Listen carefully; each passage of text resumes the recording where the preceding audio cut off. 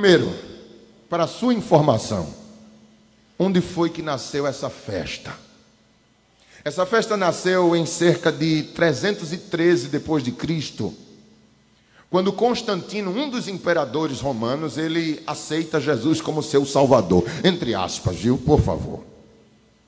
Vocês sabem que a igreja primitiva sofreu grandes perseguições. Quem é que nunca ouviu falar dos, dos martírios do Coliseu, de crentes que eram incendiados, de crentes que eram enrolados em pele de animal e solto para que os cachorros no Coliseu comessem aquela carne, aquele sangue, jogado nas feras, leões, ursos, esmagava, despedaçava, rasgava no dente crianças, mulheres e homens. Quem nunca ouviu falar sobre isso, quem nunca assistiu um filme relativo a estas coisas? Pois é, houve um tempo que tudo aquilo parou.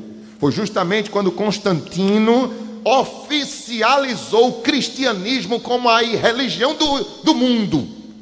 E Roma, como era o maior império da época, disse: cessou a perseguição contra os cristãos. O imperador agora é crente. Só que, amados irmãos, para disseminar a fé cristã, ele teve que abraçar a fé pagã. E o paganismo lá fora de Roma, lá fora dos territórios judaicos, era cheio de deuses. E mulheres, por exemplo, deuses do sexo feminino, eram adoradas. Por exemplo, Azera, Diana, Afrodite, eram deusas pagãs e tantas outras. Então, quando o cristianismo se alastrou, os pagãos disseram: tá, quem é o Deus deste cristianismo? É um homem chamado Jesus. E quem é a mulher? Disseram: não, não tem mulher nessa, nessa fé. E eles disseram: não, tem que ter uma mulher. E aí transfiguraram estas deusas para uma mulher.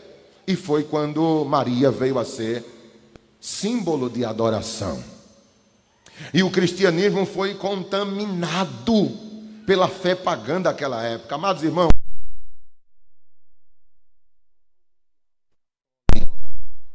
universal. E o que é que ela faz? Ela traz algumas determinações para os seus fiéis, e uma delas era a quaresma. O que era a quaresma? Era 40 dias de total consagração que antecedesse o dia da Páscoa. E na quaresma ninguém podia comer carne, visando o jejum que Jesus fez durante os 40 dias no deserto. Então, é um tempo de penitência para um católico praticante. É uma época de abstinência, é uma época de santificação para então se celebrar a Páscoa, o sacrifício do Senhor Jesus Cristo. Só que os pagãos, disseram assim: vamos passar 40 dias sem comer carne, então pelo menos três dias que vai anteceder a quaresma, nós vamos dar evasão à carnalidade, à prostituição, à prosmicuidade, à morte, a crimes, a tudo quanto é gerado do pecado, nós vamos evadir-se, para que depois entremos no período de santificação. E aí o imperador aceita isso Durante três dias que antecedem a quaresma, eles então davam evasão à carne, surge o nome carnevale, que é justamente carne vai embora, se afaste, e se tornou o nome carnaval. A Igreja Católica, percebendo que a humanidade entrava em três dias de plena profundeza de pecado, eles então inventam a quarta-feira de cinzas, que é o que? É que todo pecador voltasse à igreja e o sacerdote pegava, molhava o dedo, melava o dedo na cinza e fazia uma cruz na testa deles. Cinza na Bíblia é sinal de luto, de tristeza, ou seja, os pecadores agora estão arrependidos e vêm pedir a penitência da igreja, a igreja unge eles com cinza e então eles começam a quaresma. É justamente aí que surge a orgia do carnaval. Você pode ver que em todo ano o carnaval não tem uma data fixa, porque é baseado na Páscoa, é baseado na Quaresma. São três dias antes de cinzas, são três dias antes da Quaresma. É justamente anualmente que se marca a festa do carnaval. Meus amados irmãos, Eu fui buscar alguns relatos a respeito dessa festa. Quando o Brasil, eu quero falar a nível de Brasil apenas, e limitar-se a Pernambuco e a Olinda. Quando se diz na televisão que isso é uma festa cultural, não acredite nisso, porque não tem nada de cultura. Quando você vai buscar depoimentos de pessoas aderentes ao candomblé, eles dizem que carnaval é um candomblé a céus abertos. Se prepare para o que eu vou falar aqui para os irmãos. Eu vou evitar falar nomes, porque eu sei que está sendo transmitido. Mas quando, por exemplo, se entrega as chaves da cidade ao chamado rei Momo, a gente pensa que é um gesto de cultura, aquele gordo pulando o carnaval, pega a chave da cidade e entrega a ele. Queridos, no Rio de Janeiro agora foi o maior problema, porque o prefeito do Rio de Janeiro, ele é protestante e não quis entregar a chave. A Globo, a televisão entrou contra ele, porque ele estava quebrando uma cultura de décadas. Mas o que é realmente entregar a chave ao rei Momo, irmão? O Momo era um homem que, na época dos romanos, o imperador chamava do seu exército romano e escolhia um soldado para ser o rei Momo. Detalhe: tinha que ser o homem mais bonito do exército. O que menos sofresse. Por quê? Porque coroavam ele como rei durante três dias. E durante o carnaval, o Momo, ele promovia as orgias para toda a população. Estava liberado. Tudo quanto era proibido, agora, nos três dias do seu reinado, do reinado de Momo, estava totalmente liberado. Só que detalhe: quando esses três dias acabava, o Momo, ele era sacrificado a Saturno literalmente sacrificado, era levado para ser morto no templo de Saturno, na época dos romanos. Transliterando para a cultura grega, o momo era chamado na mitologia, irmãos, de Baco ou Dionísio. E é aí, irmãos, que surge a palavra bacanal ou seja, orgias, você vai encontrar essa palavra no bacanal de Herodes, ou seja, quanto Herodes promoveu de prosmicuidade era idolatrando o deus Baco. Baco para os romanos, bacanal ou bacana, também vem de Baco. Uma vez eu vi um crente chamando Deus de bacana e ele não sabia que ele estava blasfemando. Porque quando você chama bacana, você está dizendo que aquela pessoa está relacionada ao Deus Baco, o Deus da festa, o Deus da prosmicuidade, da prostituição. Bacana, bacanal, tudo vem de Baco. E para os gregos, Dionísio. Para os romanos, Baco. E para o brasileiro, Momo. Aí quando você pega as chaves da cidade, a gente acabou de ler que Jesus deu as chaves do reino dele na mão de Pedro. Transferir chave é transferir autoridade. Quando um prefeito de uma cidade pega a chave da cidade e dá aquele representante do mal, das trevas, do diabo, ele está dizendo: a nossa cidade está nas mãos de Satanás. É isso que no mundo espiritual está acontecendo. É claro que a intenção não é essa. Mas para quem vive, a igreja percebe as coisas espirituais. Diga glória a Deus se você está entendendo, irmãos. Aleluia. Glória a Deus. Eu fui ler, queridos irmãos, uma coisa que a gente tem percebido é que Olinda está um inferno. Olinda não se transeunta lá. É congestionamento dia e noite. Os irmãos de lá, quem o diga. Você sabe quando começa a festa de Olinda? Quem abre a festa de Olinda é um calunga de 4 metros de altura. O que é calunga, irmão Lorival? É um objeto sagrado para o candomblé. É um boneco que representa alguém que morreu. Aquele homem que hoje é chamado de homem da meia-noite, ele está representando um homem que morreu em 1932. 2 de janeiro de 32, inaugura-se a agremiação do boneco chamado Homem da Meia-Noite. Detalhe: é o dia de Emanjá.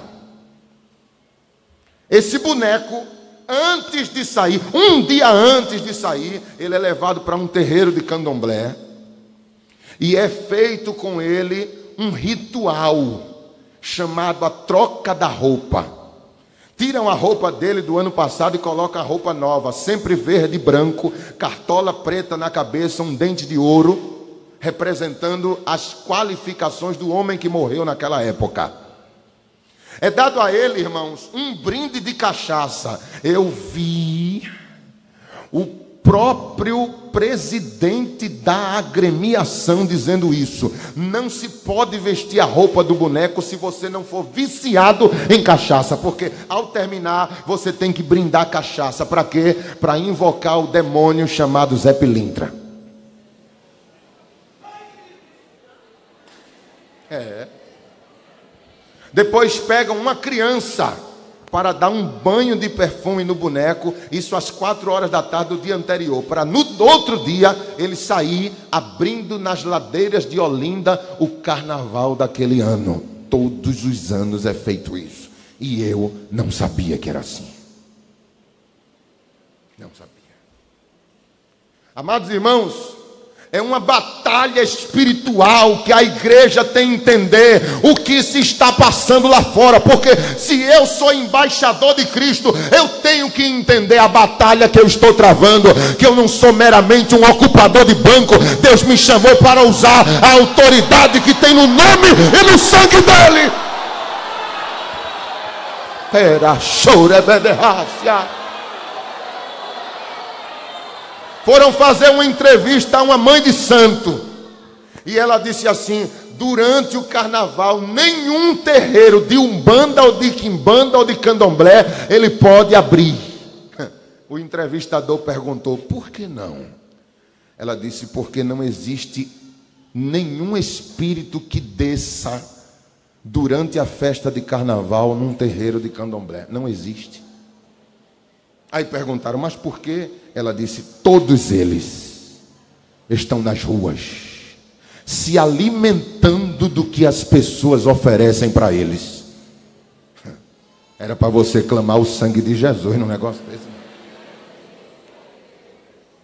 Você já pensou, irmão, o que é que se faz num terreiro de candomblé? É morte de animal, de galinha preta, de bicho, de porco. Mas os demônios trocam todas essas oferendas pela prostituição, pelo crack, pela droga, pelo homossexualismo, pelo lesbianismo, por tudo que se faz lá fora. Porque para eles são coisas mais atrativas do que o que se pode oferecer num terreiro. Eu vi um blog, irmão, de um filho de santo, o nome dele está aqui. Ele diz assim: todos os Exus e pombagiras estão espalhados e soltos neste período. Todos. Não desce nenhum no terreiro. Pode furar o bombo de bater que ele não desce. Que ele está se alimentando dos prazeres da carne aí fora. Sangue de Jesus tem poder, irmãos. Aí você não entende, porque numa hora como essa, Deus toca no coração do pastor e diz: Não quero ninguém por aí afora, eu quero todo mundo reunido na igreja, crescendo na graça, no conhecimento, lendo Bíblia, orando, buscando.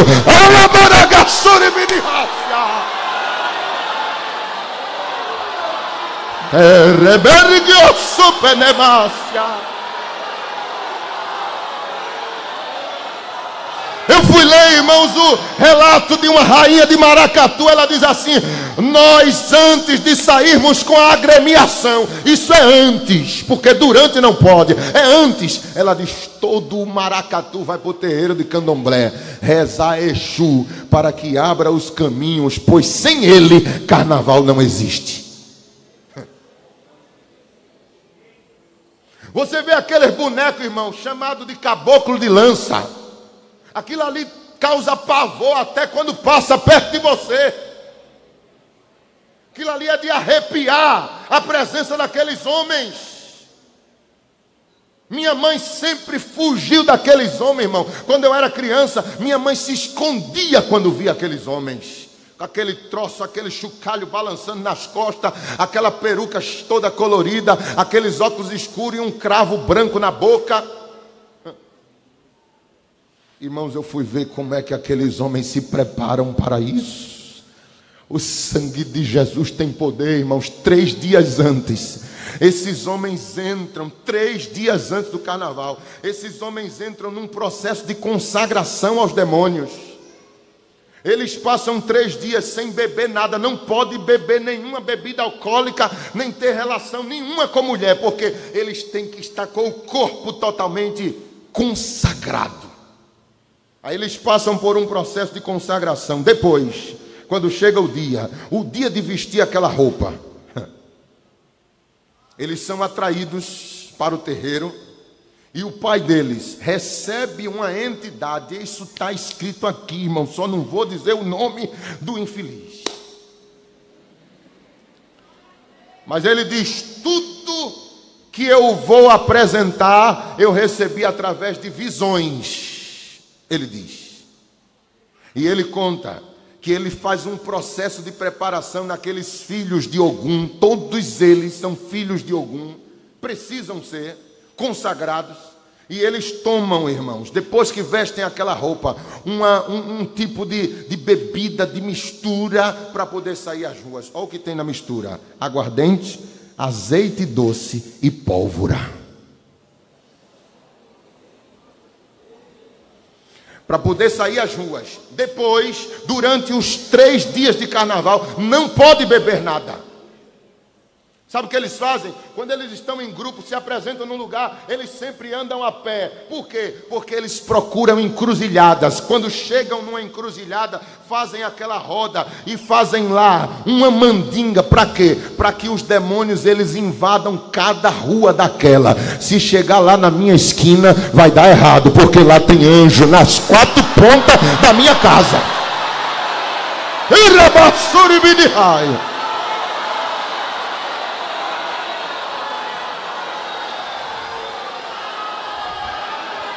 Você está pensando que o diabo está brincando?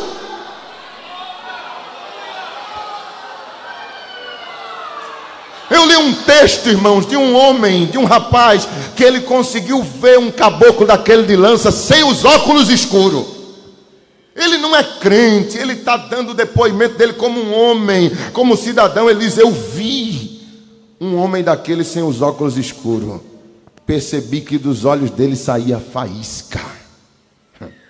Ele diz: a energia que envolve eles é como se fosse a de um animal selvagem.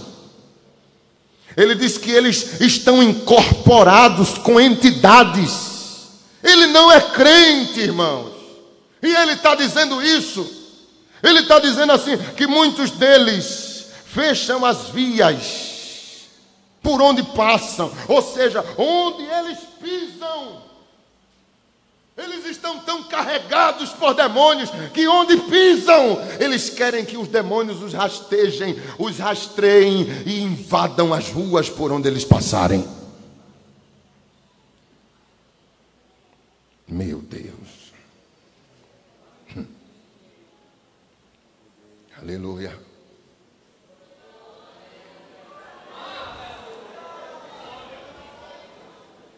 Eu sinto a presença de Deus aqui comigo, irmãos, para falar isso. Mas é preciso que nessa noite você se ligue com o céu. Porque eu estou levando você a entrar numa área espiritual que, se houver brechas aí em você, eu não sei o que pode acontecer neste culto. Se ligue com o céu. Ontem eu estava assistindo, ontem não, hoje eu estava assistindo a gravação de ontem. E quando a câmera passava assim, eu pude ver, meu Deus, quanto crente desapercebido. O pregador pregando aqui, eu não conheço aquele irmão, mas ele estava tão cheio do Espírito Santo. É claro, uma boa parte estava ligada, chorando, falando em língua, mas eu olhava outros mesmo assim, olha. Parece que não está aqui, irmão. desligado totalmente céu não dava uma glória para Jesus, nem abria a boca para bocejar de sono. Oh, dergue a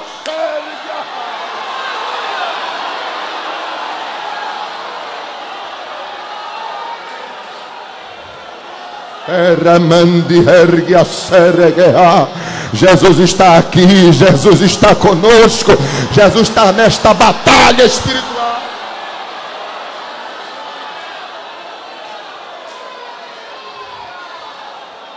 Eu vou ler para você aqui um samba enredo de uma escola de samba de 2017.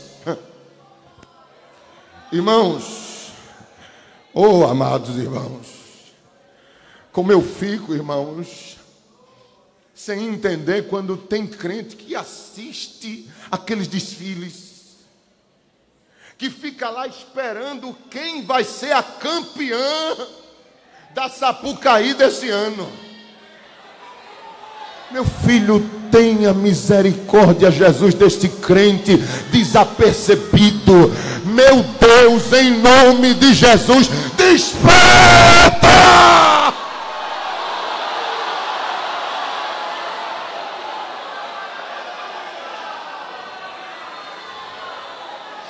Pere, pere, candele, cai. Remedema suribidi kamandaha. Rebedemantio sobedevácia. Rebedecama. Jesus vai tomar esse ginásio aqui, irmão, com tanto de poder daqui a pouco.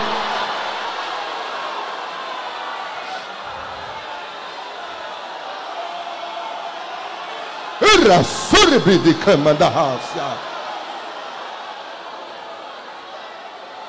Eu estou falando essas coisas aqui, irmão, não é com alegria na minha alma, não é com tristeza, é agora porque o Espírito Santo me abriu os olhos para essas coisas e disse: fale para a minha igreja. 2017, ano passado, a escola de samba Acadêmicos de Salgueiro. Olha o nome do título da música desta agremiação, irmãos. Alegria infernal. Eu vou ler isso aqui, irmão, e pelo amor de Deus, clama o sangue de Jesus aí comigo. Olha só, começa assim dizendo: No balancê, no balancê, a embarcação avança pelas águas assombradas, de onde há visto as loucas fantasias dos que se entregam sem temor às garras da folia. São milhares de vozes que ecoam pelos abismos mais profundos, entoando uma ladainha profana, hino de tantos carnavais que diz: Mas que calor, mas que calor, mas que calor. Ele diz assim: Estou em pleno inferno, o sangue de Jesus te repreenda. Estou ardendo numa incontrolável febre de alegria, no reboliço dos salões subterrâneos. Ele está contando, irmão, que ele está no inferno e está vendo os foliões gritando, dizendo que calor. Mas ele diz: vocês gritavam isso quando pulavam carnaval, vocês clamavam isso quando estavam pulando. E ele diz: estou indo nos subterrâneos salões, o bloco dos mascarados arma as trincheiras para um uma intensa batalha de confete e serpentina. Você pensa que é cultura, para eles é batalha, irmão, é batalha para eles e vai ser batalha para a igreja também.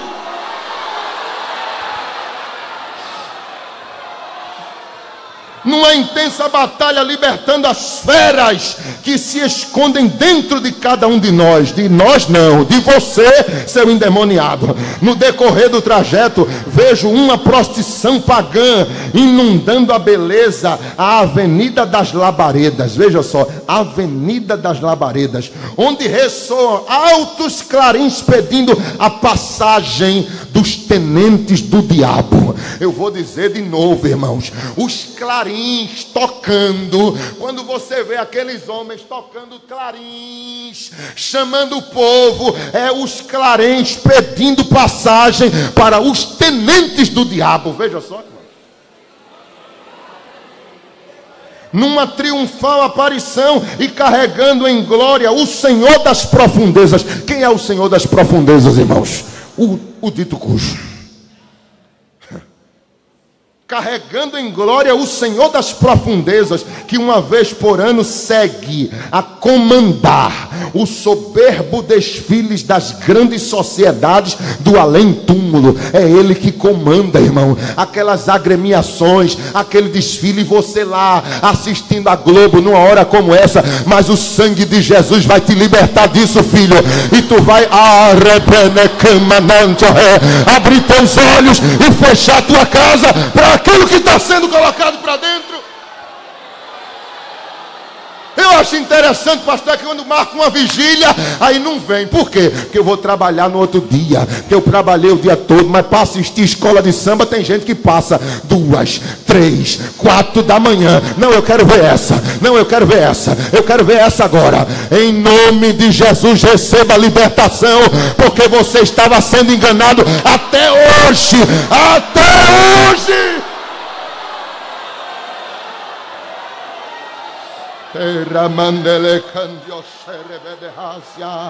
Oh glória, oh glória, oh glória. Nessa euforia aterradora, a ordem do rei do mundo inferior é levar a alma num irresistível transe coletivo. Olha a ordem que sai do inferno, irmãos.